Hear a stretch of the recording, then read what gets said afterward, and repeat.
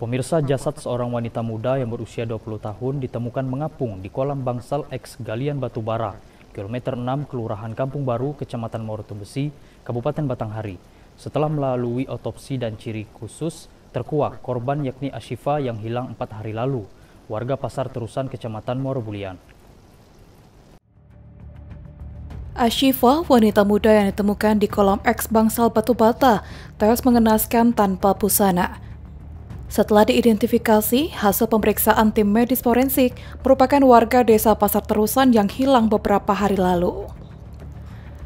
Rabu sore sekitar pukul 17.15 waktu Indonesia Barat, jenazah Ashifa datang ke rumah duka disambut dengan isak tangis keluarga korban dan langsung dibawa ke Masjid Al-Kautsar, dusun pendakian desa Kelurahan Pasar Terusan.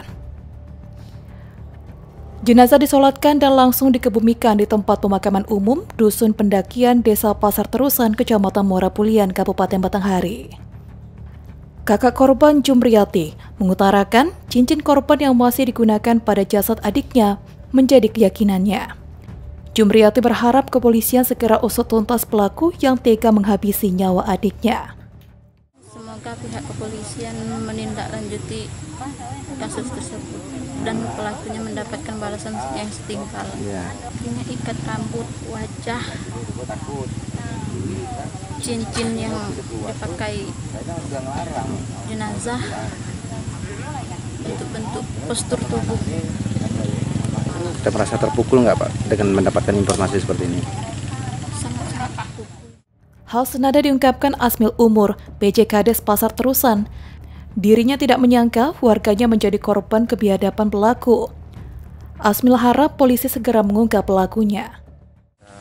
Mengumpulkan warga kita yang meninggal di Palnam Palnam Palnam kemarin setelah dipastikan ini betul-betul warga kita pasar terusan yang bernama Sifah Nasifah Nasifah.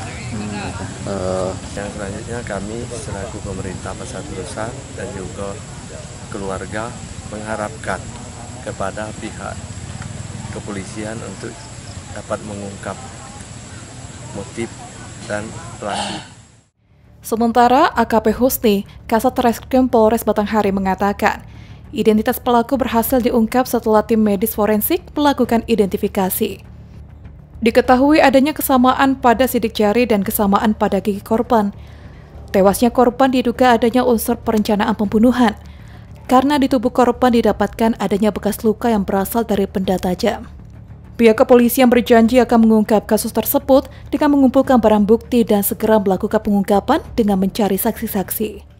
Identitas korban sekarang tadi barusan berhasil untuk kita identifikasi, kita cocokkan hasil pemeriksaan sidik jari dengan database sidik jari yang kita punya kemudian pemeriksaan gigi oleh uh, dari pihak rumah sakit dapat dikatakan ada kecocokan dengan keakuratan yang cukup tinggi bahwa memang korban ini atas nama Nasifa yang sempat dihilang dikabarkan hilang beberapa hari yang lalu berdasarkan hasil pemeriksaan visum dan dari hasil otopsi uh, pemeriksaan otopsi sementara untuk tubuh korban memang diduga ada bekas-bekas luka merupakan dari perbuatan benda tajam.